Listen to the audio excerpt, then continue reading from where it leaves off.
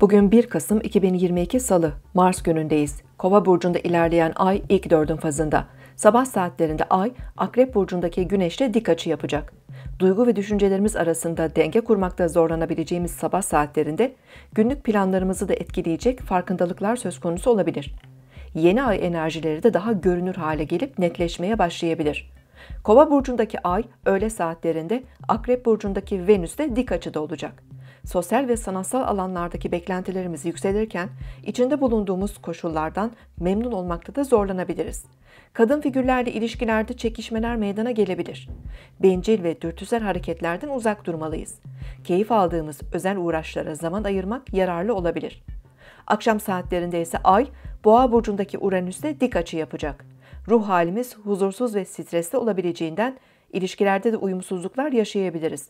Bazı ani ve sürpriz gelişmelerde akşam saatlerini hareketlendirebilir. Heyecan ve coşkumuzu kontrol etmeli, dürtüsel hareketlerden uzak durmalıyız. Siz de şimdi kanalımıza abone olun, yorumlar bölümüne sorularınızı yazın, sürprizlerimizden haberdar olun.